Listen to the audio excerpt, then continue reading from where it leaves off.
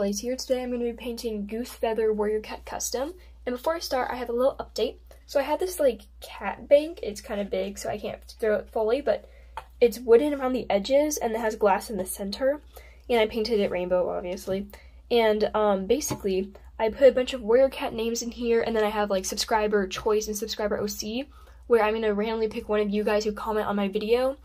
And uh, I will paint your OC or if you have a specific character and then you can buy it from me. And then some of these cats will also be up for sale, but those ones are more specific to that person. And at the end of every warrior cat painting video, I will choose the cat for the next video out of the little hole at the bottom because this is like a bank.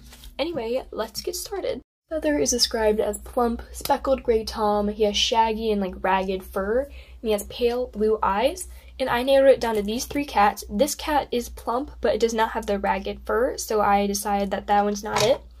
These two, they both have ragged fur. They're not necessarily plump, but like they're close enough. They're they do look bigger built, so that's fine. And I was because I've used this one a lot, and I think I like the mold a little better, but I also kind of wanted to experiment with this one, and I kind of I don't know for some reason I thought this matched him. I don't know, so I I'm gonna choose this one. Use acetone and a Q-tip to clean the factory paint off of the cat, and this is very important because it makes it easier to paint. And then after that, I just drown my cat in water, so then it washes the extra acetone off so the acetone doesn't eat away at the plastic. And then you just start adding the base coat, which is light gray.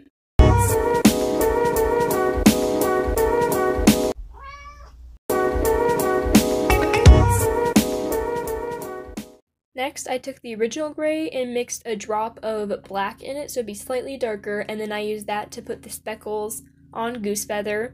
And then on his tail, I just painted the tail tip in,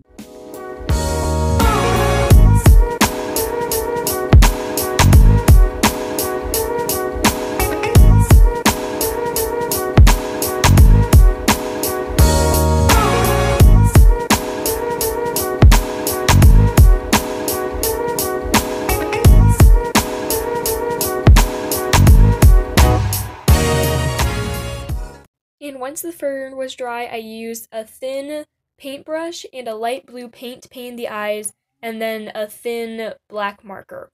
And then once those were dry, I just used the lighter gray to fill in the parts that may have gone out of the eye mold.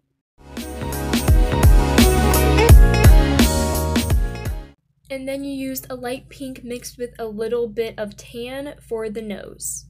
Since I'm going to be selling this, I added in a little medicine cat or box. So basically has a resin little container that I made and then I put berries, flowers, stems, and moss in it.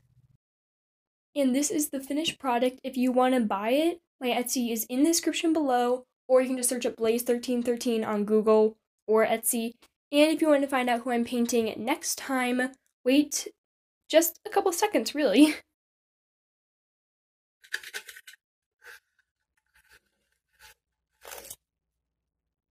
Okay, that's Goosefeather. I forgot to take his name out again.